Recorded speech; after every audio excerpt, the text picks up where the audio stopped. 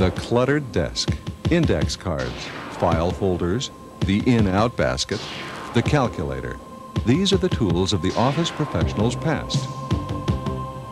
Since the dawn of the computer age, better machines have always meant bigger and more powerful.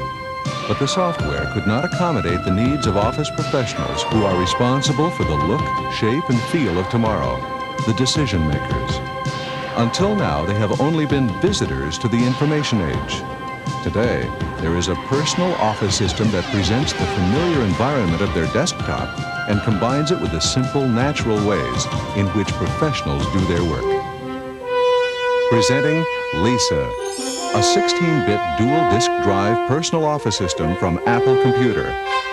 Lisa, integrated software with the common user interface. Lisa, the next revolution in computing. The breakthrough of the LISA program is the software technology. The use of graphics to emulate the way an individual works in an office environment, and a software architecture that allows us to integrate the typical functions of a personal computer. Word processing, modeling, business graphics, database management, and datacom.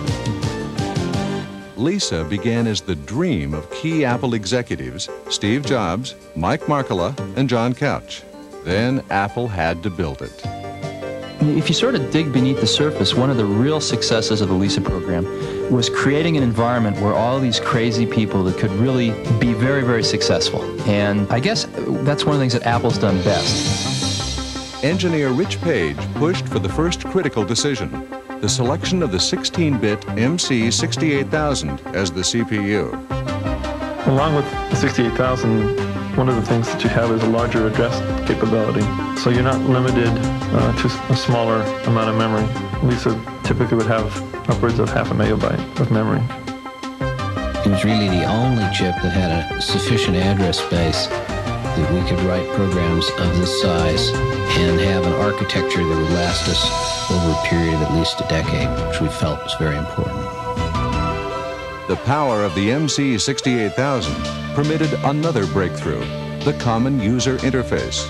On Lisa, we make each of the programs have a similar user interface so that what you've learned from using one program carries over and you feel naturally how to use the next. A key element in the common user interface is the mouse an ingenious cursor positioning device that makes using the system as easy as point and press. In the design of Lisa, we chose to use graphical menu items instead of word commands that you type in uh, because it's a lot easier to learn. Instead of remembering a whole long list of commands and remembering how to spell each correctly and all of those things, we just present a picture, a menu of options, and to choose one, you just point at it with a mouse and it's real easy to learn. Take, for example, a graphics editor. My 10-year-old niece walked up to my machine and started playing with it. In five minutes, she knew how to use the graphics editor, and she stored off her picture and printed it out. That's what's so beautiful about Lisa, is anybody can use it. Lisa is the only personal office system to offer word processing, electronic spreadsheet capabilities, business graphics, list management, complex scheduling, and graphics editing in one integrated software package. The bitmap display feature permits the user to choose a multitude of typefaces and fonts, and to draw virtually any composition imaginable. An interactive tutorial program, Apple Guide, introduces the basic concepts necessary to use Lisa. Because Lisa is such a revolutionary design concept, Apple built a special sneak room to preview Lisa to corporate executives. The reaction of the executives?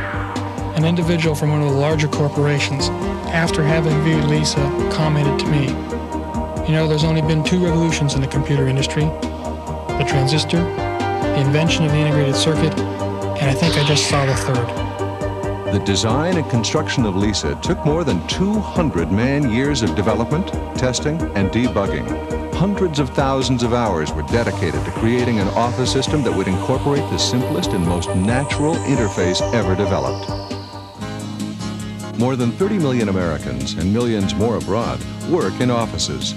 Executives and managers in the accounting, marketing, financial, engineering, and planning professions are the prime targets of the Lisa marketing push. IBM, Xerox, and others appear to be formidable competitors, but none can match Lisa's innovative, versatile, and low-cost features. The Office is the computer market of the future. Like the personal computer market of 1977, the Office represents an extremely large and untapped market.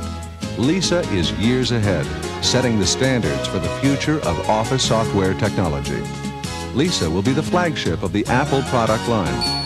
The Apple II serves the needs of those who need a small home unit for work or personal use.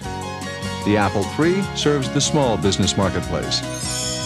Lisa will address the needs of the knowledge workers, the corporate executives, and professional personnel.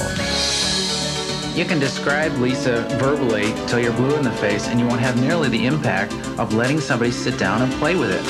Once somebody sits down and plays with a Lisa, they're hooked. Lisa is by far and away the most ambitious technical undertaking that Apple's ever attempted. And uh, it really is the most massive investment of dollars and human resources and really risk since we did the Apple II. Uh, with the Apple II, we had all of $1,300 to lose.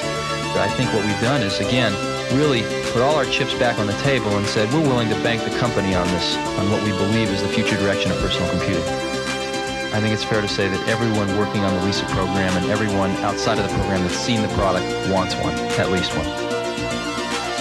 Lisa, Apple's demonstration of its leadership in bringing technology to the knowledge worker. Lisa, the personal office system of tomorrow, here from Apple today.